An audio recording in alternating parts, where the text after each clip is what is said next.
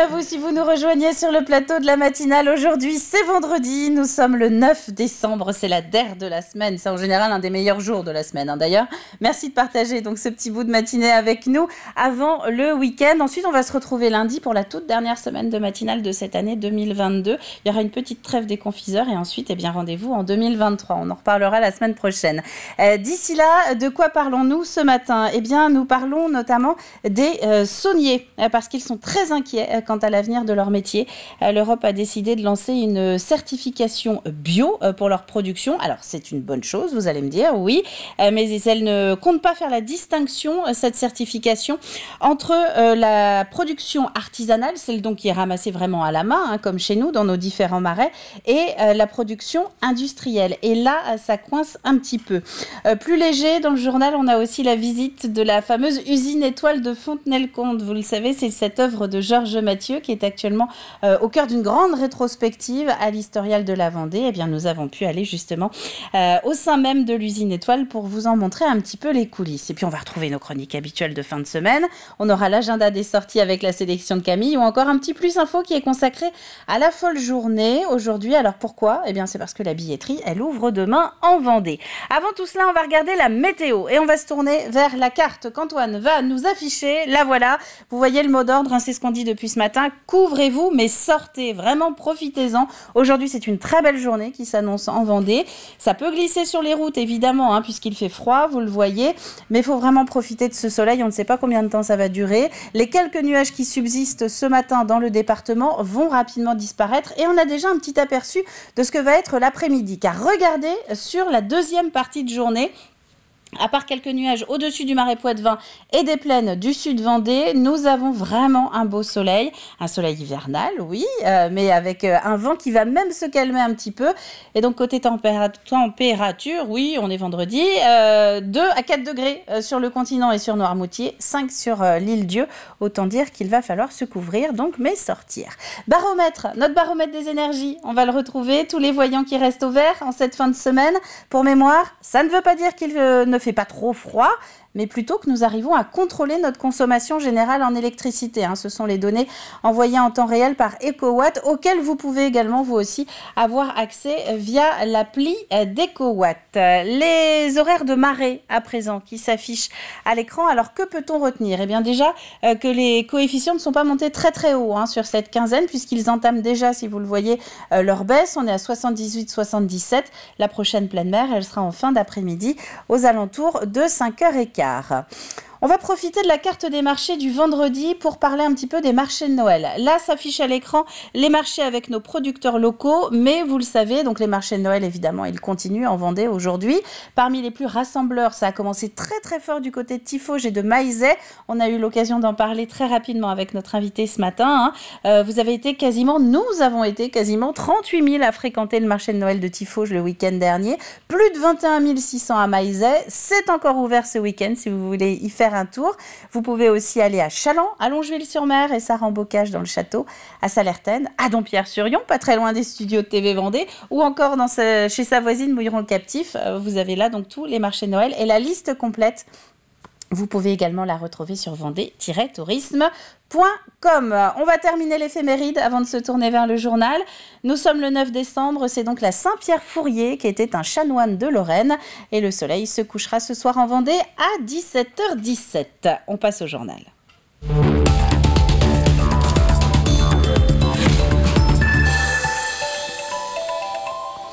Alors vous l'avez peut-être remarqué en faisant les courses, il n'existe pas à ce jour de sel bio à proprement parler. La raison, c'est que le sel est considéré comme un produit euh, minier et non un produit agricole jusqu'à présent, car l'Europe vient de décider de se pencher sur la question et elle va officialiser très prochainement les critères à remplir par les producteurs de sel pour obtenir justement ce label bio. Le problème, c'est que tous les sels n'ont pas la même origine et les critères de labellisation évoqués pour le moment n'en tiennent pas compte, mettant ainsi au même niveau le sel industriel et celui de nos marais salants récoltés à la main, ce que les sauniers de l'Atlantique voient évidemment d'un très mauvais œil. Diane Delangle.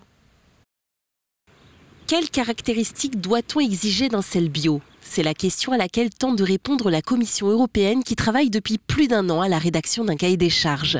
Mais la dernière version présentée est loin d'apporter satisfaction auprès des petits producteurs qui voient mis dans le même sac ramassage à la main et extraction au bulldozer ne peut être bio que quelque chose qui respecte les cycles naturels, euh, respecte l'environnement, les sols et qui euh, permet le développement des territoires ruraux. Donc nous, on sait qu'on rentre complètement dans, ces principes-là, du, fait de la manière dont on travaille, qui est euh, complètement manuel, euh, qui ne dépense aucune énergie fossile, qui se fait avec juste le soleil et le vent.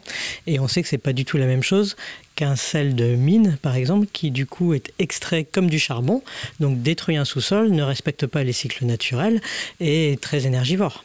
Donc pour nous, c'est deux choses complètement différentes. Et actuellement, pour la Commission, bah, c'est la même chose. Sur la façade atlantique, 600 petits producteurs récoltent le sel de manière traditionnelle, environ 25 000 tonnes à l'année. Un grain de sel comparé aux 4 millions de tonnes produites de manière industrielle. Mais la grosse, grosse partie de ce que font euh, les sels de mine, par exemple, c'est du sel qui de toute façon ne sert pas à la consommation humaine, hein, qui sert à déverglacer les routes, qui sert à l'industrie pétrochimique. Donc eux, pour eux, ce serait une aubaine hein, de réussir à faire beaucoup de marge à vendre du coup beaucoup plus cher du sel qui pour l'instant ils vendent à pas cher. Euh, et c'est une concurrence déloyale pour nous qui fait qu'ils vendraient moins cher du sel que le nôtre euh, et avec le même tampon bio La problématique, c'est d'être obligé de dire aux gens n'ayez pas confiance dans le label bio, alors que c'est pas du tout ce qu'on voudrait dire. Le label bio, en fait, c'est le, le, seul élément qui nous permet de savoir un peu quelle est la différence entre une agriculture qui pourrait aller dans le bon sens par rapport aux enjeux euh, environnementaux qu'on connaît. Et du coup, il faudrait que les gens puissent continuer à avoir confiance dans le bio. Et pour ça, il faudrait surtout pas que la Commission sorte un texte qui, qui ressemble à rien, quoi. Le texte est maintenant mis à la consultation publique jusqu'au 4 janvier. Chacun peut y faire remonter ses remarques. À l'issue, les États membres et le Parlement européen choisiront ou non d'adopter le cahier des charges. L'avenir du sel bio est donc à présent entre les mains des consommateurs qui choisiront de s'emparer du sujet. Chantonnay accueillait hier soir l'ouverture de la session départementale trimestrielle, une session qui a ouvert le vote du budget primitif 2023. Les élus seront de nouveau réunis vendredi prochain, maintenant le 16 décembre, pour voter ce budget qui devrait s'élever en Vendée l'année prochaine à 907 millions d'euros. Euh, nous y reviendrons dans nos prochains journaux de la journée. Saint-Jean-de-Mont à un nouveau conseil municipal, un hémicycle un petit peu rajeuni puisqu'il s'agit des récents élus du conseil municipal des enfants, une petite vingtaine de conseillers municipaux qui sont âgés de 9 à 12 ans, qui ont siégé pour la première fois cette semaine à l'hôtel de ville.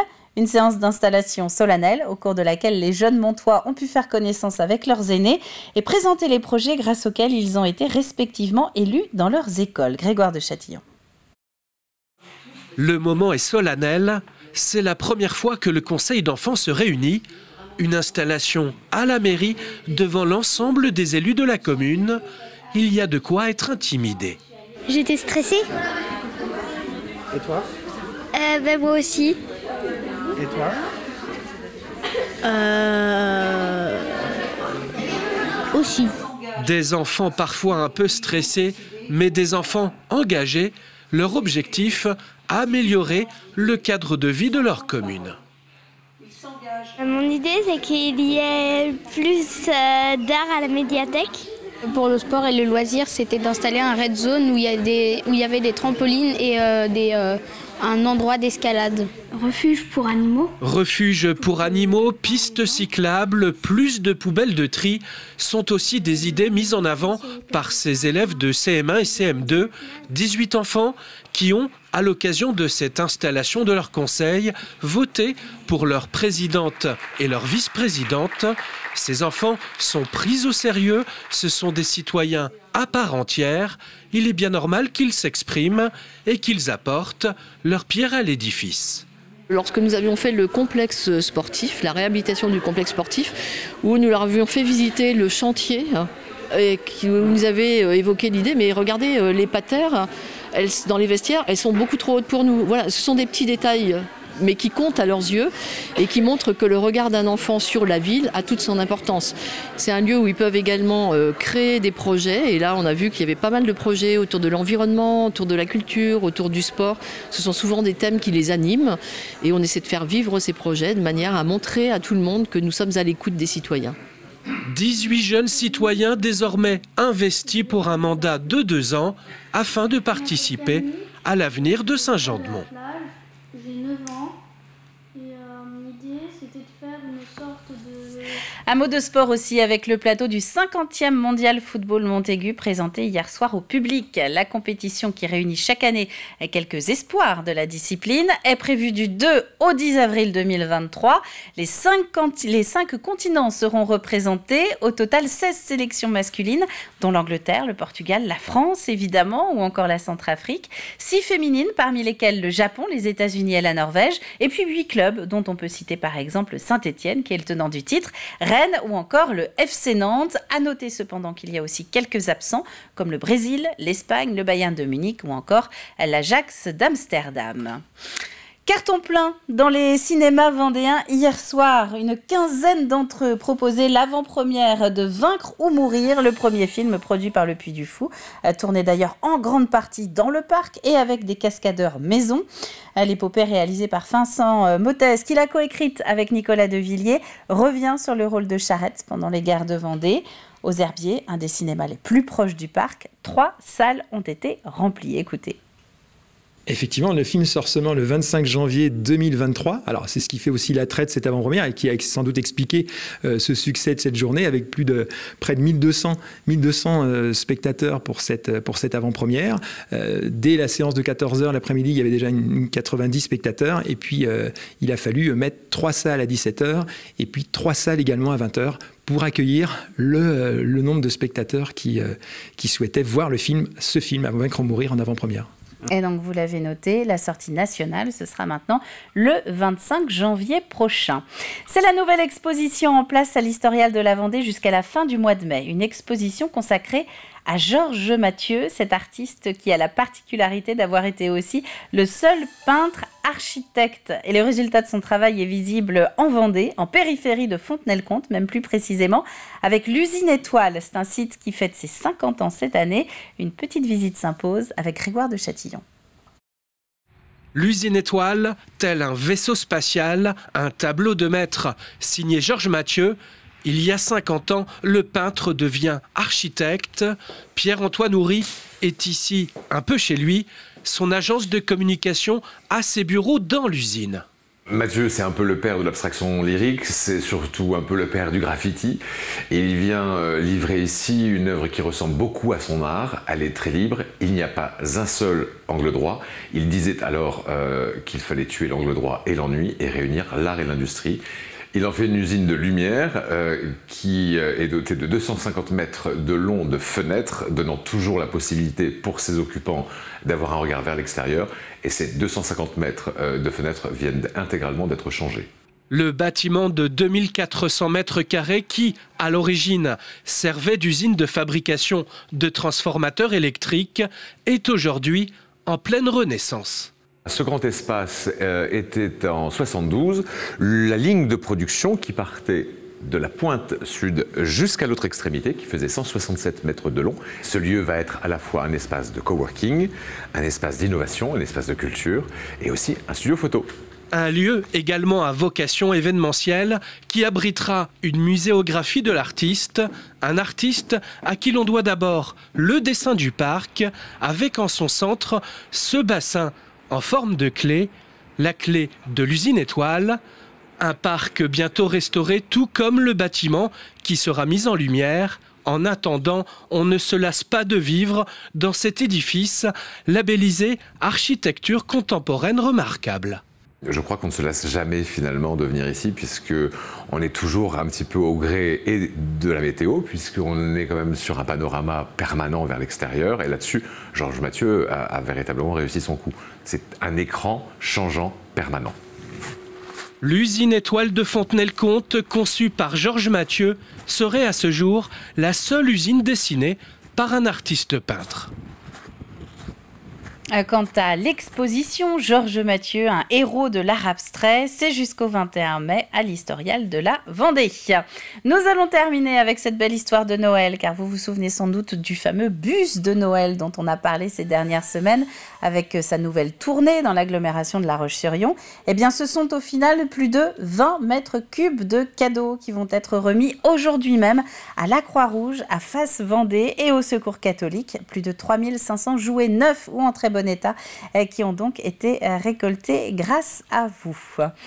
Voilà pour l'actualité du jour que nous allons compléter avec les températures hivernales de ce vendredi. Regardez, du négatif pour tout le monde aujourd'hui. Euh, du négatif ou un petit zéro, c'est presque chaud ça. De la baie de l'Aiguillon au marais Poitevin pour ces premières heures de vendredi. Dans le reste du département, donc de moins 1 à moins 2.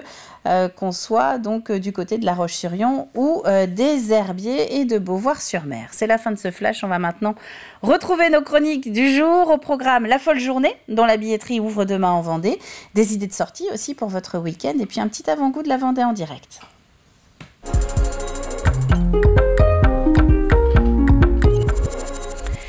Et nous commençons donc avec le plus de l'info. Coup de projecteur aujourd'hui sur euh, la folle journée, ce fameux festival de musique classique qui revient en début de chaque année dans toute la région des Pays de la Loire. Il est organisé du 1er au 5 février à Nantes, mais comme d'habitude, juste avant, dans le reste des départements de la région, il y a aussi des concerts.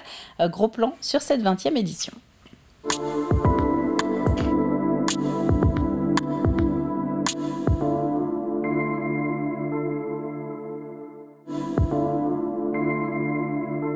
Le thème, c'est la nuit. Je voulais cette année un thème transversal pour s'adresser à tous les publics. Le public qui aime la musique classique, le public qui aime le jazz, qui aime les musiques traditionnelles.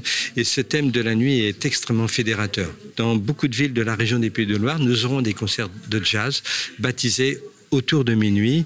C'est un jazz des années 50, très lié au blues. C'est un jazz absolument magnifique. Donc, il y aura une variété d'ambiances et vous pourrez quasiment toute la journée vous retrouver dans une nuit. Et j'espère que le dernier concert vous permettra d'avoir plein d'étoiles euh, à l'issue d'un magnifique trio d'accordéon d'un trio polonais.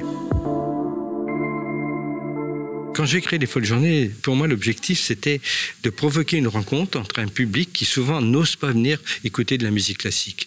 Mais une fois qu'on a provoqué cette rencontre et une fois qu'on est venu écouter les œuvres de Debussy, les œuvres de Fauré, de Rachmaninoff, les œuvres de Beethoven, tout d'un coup, on se dit, mais c'est pour moi. Les Folles Journées sont là pour essayer de provoquer cette rencontre. Chalon était dès la première euh, édition une des quatre communes euh, de la folle journée en région. Et donc c'est un moment fort, oui, 20 ans après, euh, pour Chaland d'être encore et toujours au rendez-vous. Et c'est vraiment une fête populaire qui est importante pour les Chalandais et pour Chaland principalement sur trois lieux euh, cette année, en ouverture au manège avec le Grand Air et au ciel, à l'auditorium du ciel, où euh, la plupart de la programmation des 19 concerts euh, auront lieu, ainsi qu'une conférence sur les berceuses, et puis également avec le département au vent d'espace. En 2022, il y a eu 4500 euh, spectateurs. C'est euh, un chiffre qui est habituel. On a euh, une base, je dirais, de mélomanes, de passionnés qui attendent ce rendez-vous avec impatience. On a les élèves de la Maison des Arts, on a les professeurs de la Maison des Arts, on a les ensembles loisirs amateurs qui participent, l'ensemble vocal alternance, il y a l'orchestre d'harmonie et, et tous les jeunes qui sont aussi dans les orchestres de lycée qui vont aller se produire au vent d'espace. Donc c'est un moment de fête peu importe le chiffre, qu'on soit 3000, qu'on soit 5000, c'est pas là l'enjeu. Ce qui est vraiment important, c'est qu'on passe un très bon moment. Cette année, euh, j'avais proposé une initiative qui me semblait intéressante pour aller encore plus loin auprès du public. C'est une petite scène itinérante qui va circuler dans des villages entre 800 et 1500 habitants. Et là, vous avez une petite salle de concert extrêmement qui possède une belle acoustique qui va nous permettre de présenter des musiques baroques et elle va circuler dans une quinzaine de villes.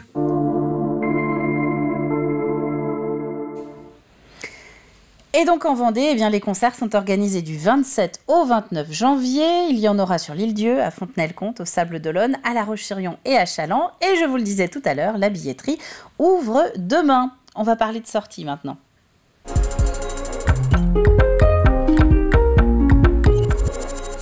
Parce que la folle journée, donc, c'est courant janvier, on l'a dit. Mais là, on va retrouver la sélection de Camille pour cette fin de semaine. Une sélection qui sent bon Noël, évidemment, au programme de la musique, des marchés, de Noël ou encore de la danse.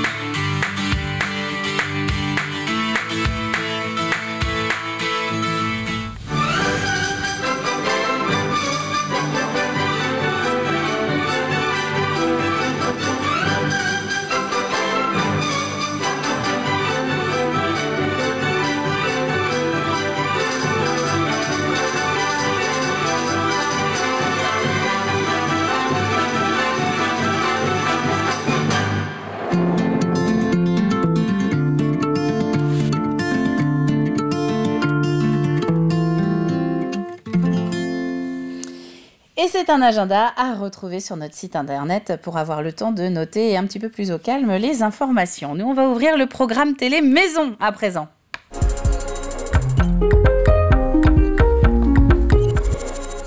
Dans ce programme télé, je vous le disais tout à l'heure, nous allons retrouver une nouvelle Vendée en direct ce midi. Alexandre Debray et Diane Delangle se relaient toutes les semaines hein, pour vous faire découvrir la grande et la petite actu de Vendée. Eh bien, on retrouve aujourd'hui Alexandre. Il est sur un terrain de foot, pas n'importe lequel, c'est celui de Montaigu-Vendée pour parler du mondial.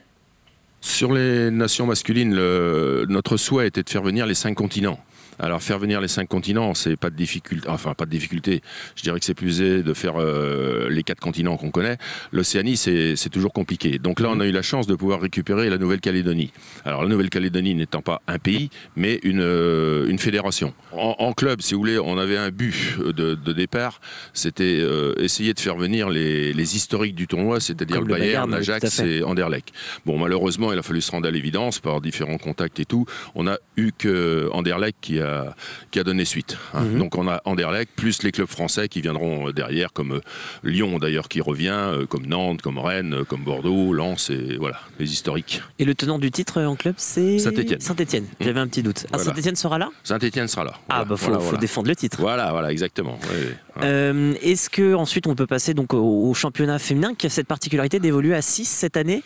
Oui, c'est ça. Oui, alors on était parti pour faire 8. Alors euh, c'est un peu euh, dommage dans la mesure où bon, on, sans arrêt, vous entendez dans les médias et tout euh, qu'il faut promotionner le football féminin. Et là, on a eu énormément de difficultés. On a peut-être lancé 60-70 invitations dans le monde entier. Et en fin de compte, on avait très très peu de réponses. On en Mhm. a eu quatre au départ.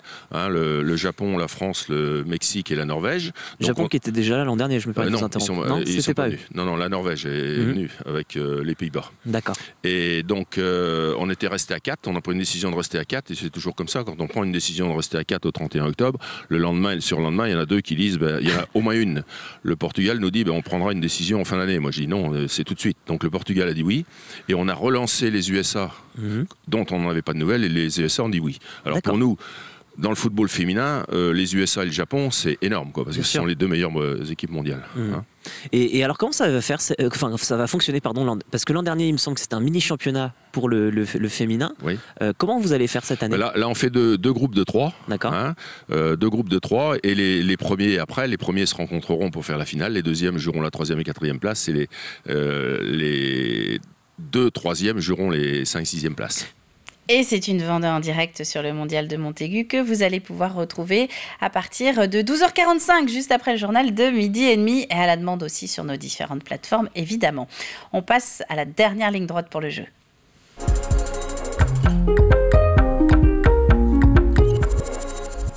Je ne le répéterai plus, alors écoutez bien. Quelle est la particularité de cette troupe de théâtre qui joue cette année une pièce intitulée Flagrant délire? Indice du jour, si vous avez le nom de la troupe, vous avez la réponse. À vous de l'envoyer avant ce vendredi à midi sur euh, tvvendée.fr et vous serez peut-être notre gagnant tiré au sort qui repartira avec L'île des oubliés, ce livre d'Arnaud Guichard qui est un auteur donc vendéen. C'est la fin de cette matinale. Il me reste 15 secondes pour vous souhaiter une très bonne journée. N'oubliez pas de sortir. On a dit il va faire beau aujourd'hui en Vendée. Et puis on va se retrouver lundi euh, pour la dernière ligne droite de cette matinale 2022. D'ici là, très bonne fin de semaine à vous tous et à lundi